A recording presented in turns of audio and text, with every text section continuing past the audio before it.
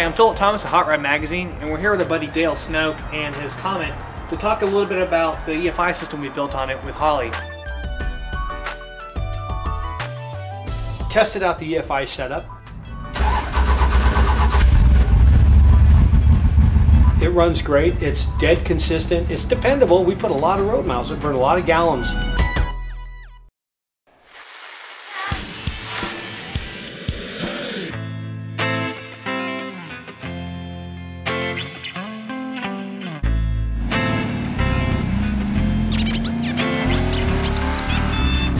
The next step is we're on this dual sync distributor. Yeah. So pretty cut and dry.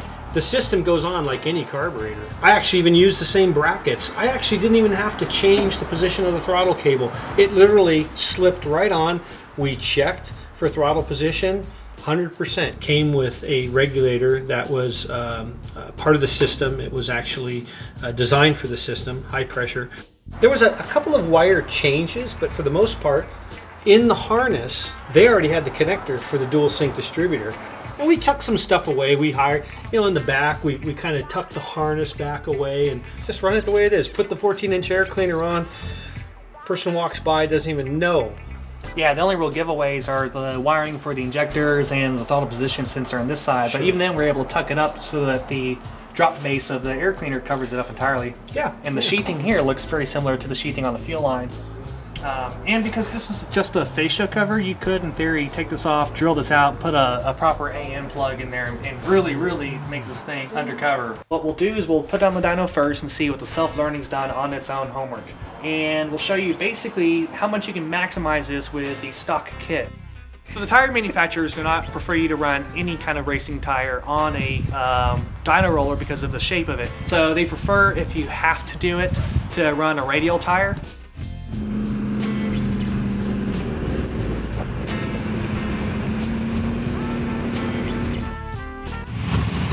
So we're here at West Westech Performance and we just started up the Comet and got it warmed up. So we're about to test our first dyno run. We'll kind of do it in stages to show you how good the system is out of the box, uh, how good it is with tuning just the base kit with just the throttle body, and then what you can gain with a little extra bit with the distributor.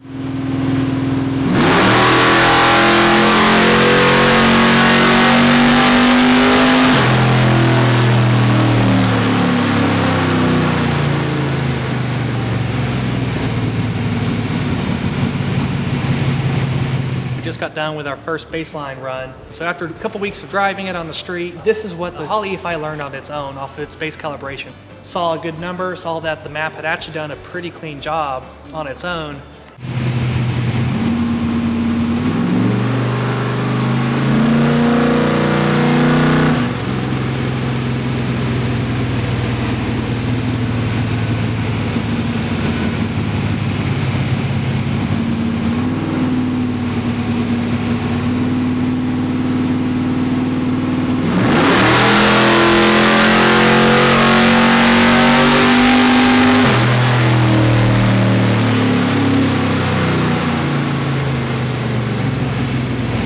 got done with our second run here, and effectively what we've done is we bumped up timing to 32 degrees off the base 30. Right.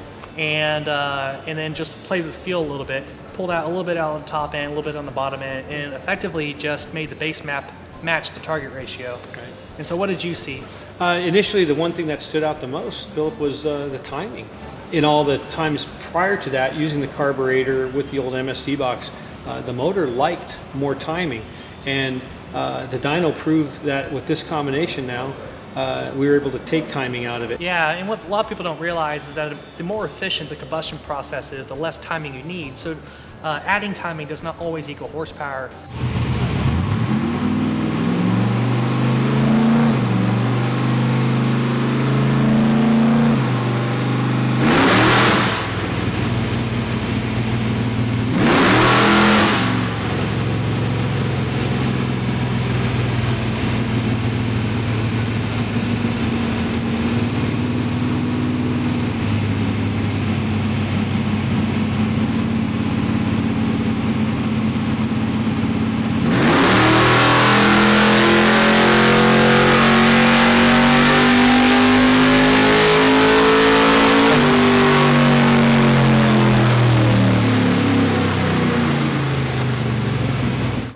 Just got done with our third run, and this time we learned with timing that adding two degrees didn't do anything. So we actually kind of came back, you know, like Goldilocks and the Three Bears, came back to 28 degrees, a little bit under our base timing. We increased the RPM limit. The motor continues to want to pull.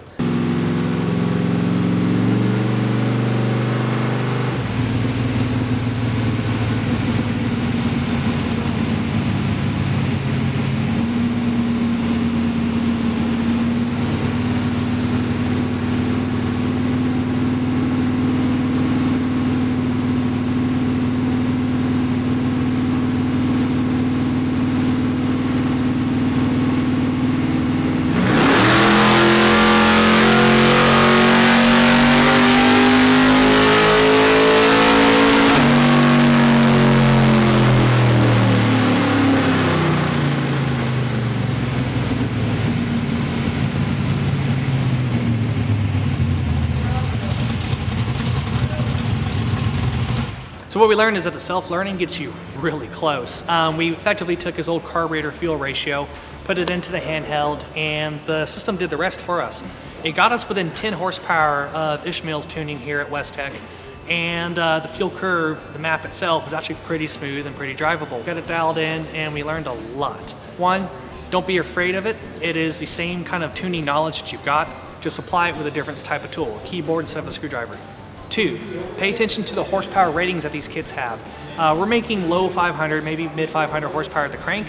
The kit's rated for 600 horsepower and we're walking up to that limitation, which is excellent. We're within the range that they tell us we can be in, and we're doing it with the base kit. You can get a bigger uh, throttle body with bigger injectors. You can get a bigger pump if you make more power. And three, get out there and do it. You'll never learn these things unless you try. And uh, what we've got out of this is a car that makes more power, drives and starts a whole lot easier, and uh, gives our owner a lot more data and tools to tune with when he goes to the track, which is a win-win-win in my book.